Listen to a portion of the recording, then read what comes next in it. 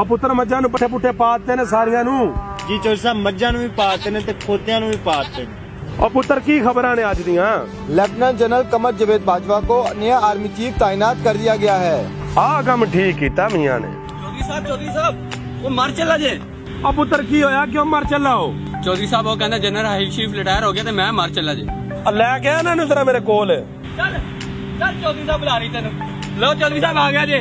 ਚੌਧਰੀ ਸਾਹਿਬ ਨੇ ਹਿਲਸਰੀ ਰਿਟਾਇਰ ਹੋ ਗਿਆ ਮੈਂ ਮਰ ਜਾਣਾ ਜੀ ਅੱਜ। ਆ ਪੁੱਤਰ ਫੇਰ ਕੀ ਹੋ ਗਿਆ ਜਨਰਲ ਸ਼ਰੀਫ ਰਿਟਾਇਰ ਹੋ ਗਿਆ ਤੇ? ਚੌਧਰੀ ਸਾਹਿਬ ਮੈਂ ਮਰ ਜਾਣਾ ਜੀ ਅੱਜ। ਆ ਪੁੱਤਰ ਰੇਲ ਸ਼ਰੀਫ ਨੂੰ ਦੁਬਾਰਾ ਚੀਫ ਬਣਾ ਦਈਏ। ਜੀ ਚੌਧਰੀ ਸਾਹਿਬ? ਆ ਪੁੱਤਰ ਰੇਲ ਸ਼ਰੀਫ ਨੂੰ ਆਪਾਂ ਦੁਬਾਰਾ ਚੀਫ ਬਣਾ ਦਿੰਦੇ ਆ ਲੇਕਿਨ ਮੇਰੇ ਇੱਕ ਸਵਾਲ ਦਾ ਜਵਾਬ ਤੇ ਦੇ। ਜੀ ਪੁੱਛੋ ਚੌਧਰੀ ਸਾਹਿਬ? ਆ ਪੁੱਤਰ ਤੇਰਾ ਮੈਨੂੰ ਦੱਸ ਨਾ ਵੋਟ ਕਿਹਨੂੰ ਪਾਇਆ ਸੀ? ਚੌਧਰੀ ਸਾਹਿਬ ਮੀਆਂ ਸਾਹਿਬ ਨੂੰ ਦਿੱਤਾ ਸੀ। ਅਸ਼ੀਦੇ ਜੀ ਚੌਧਰੀ ਸਾਹਿਬ। ਆ ਨੂੰ ਪਾਣ ਜਰਾ ਲੰਮਿਆ। ਵਾਹ ਬਈ ਵਾਹ। ਵੋਟ ਦੇਣੇ ਤੁਸੀਂ ਮੀਆਂ ਨੂੰ। ਹੈ? ਤੇ ਚਾਹੀਦਾ ਤੁਹਾਨੂੰ ਰੇਲ ਸ਼ਰੀਫ। ਚੌਧਰੀ ਸਾਹਿਬ ਇਹਨਾਂ ਕੋਲ ਬਨਾਮਾ ਦਾ ਹਿਸਾਬ ਲਓ। ਆ ਪੁੱਤਰ ਤੂੰ ਵੋਟ ਕਿਹਨੂੰ ਦਿੱਤਾ ਸੀ? ਚੌਧਰੀ ਸਾਹਿਬ ਪੀਟੀਆਈ ਨੂੰ ਅਸ਼ੀਦੇ ਜੀ ਚੌਧਰੀ ਸਾਹਿਬ। ਓਏ ਇਹਨੂੰ ਛੱਡ ਦੇ ਇਹਨੂੰ ਪਾ ਲੰਮੇ। ਉਹ ਚੌਧਰੀ ਸਾਹਿਬ ਮੇਰਾ ਕੀ ਕਸੂਰ ਹੈ? ਉਹ ਪੁੱਤਰ ਤੁਹਾਡੇ ਵੀ ਧਰਨਿਆਂ ਵਿੱਚ ਜਾ ਜਾ ਕੇ ਨਾ ਤੇ ਕੌਮ ਸਾਡੀ ਬਗਾਰਤ ਹੋ ਗਈ ਹੈ